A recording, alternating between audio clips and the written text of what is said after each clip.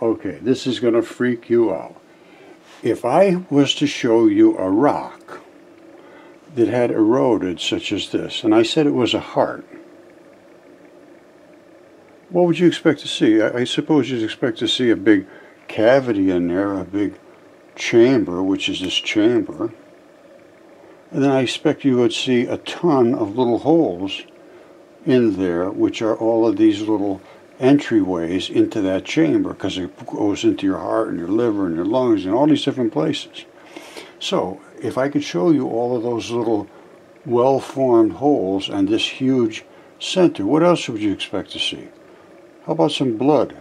I can show you that too. And this is exactly the structure of a heart.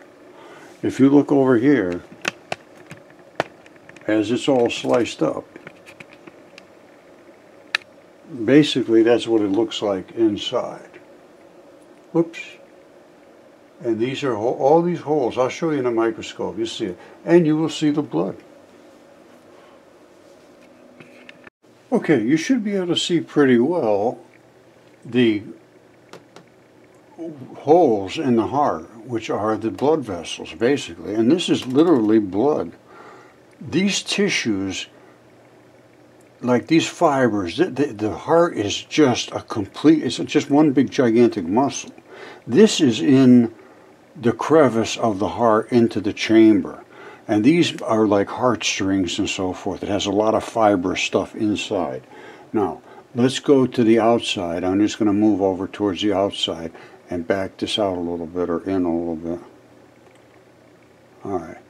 Same thing out here. You see there's another that hole there isn't just there for nothing.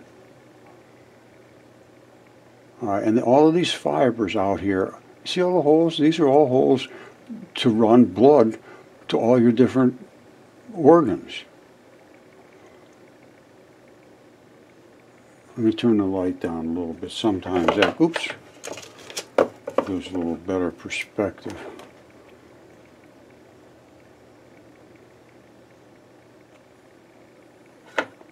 You can basically see there's some kind of, there was a tube running in there basically somewhere, I would believe. Anyway, it's very clear. Now, I am going to back out of here and show all of the different um, architecture of the heart from a much greater distance.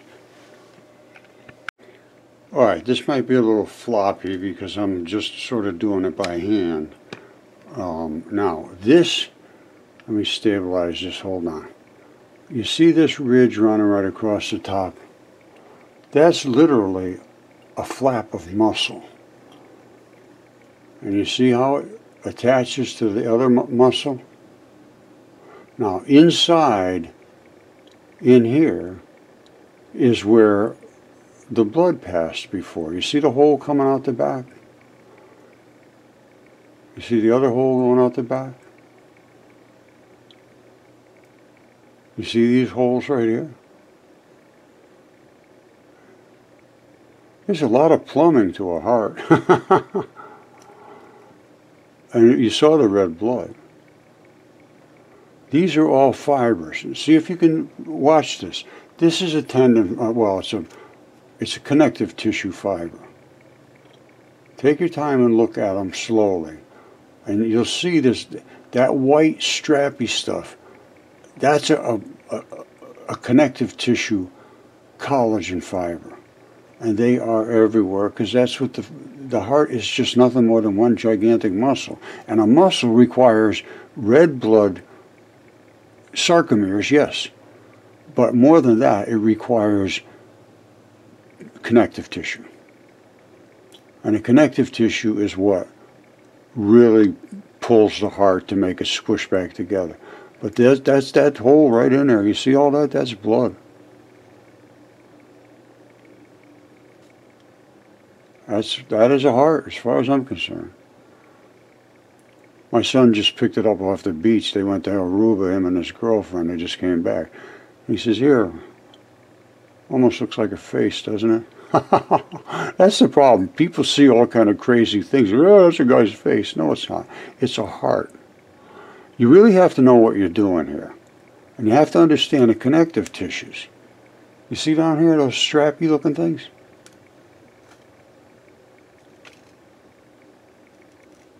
And you have to get into biology and chemistry and all the other assets that that make this thing work.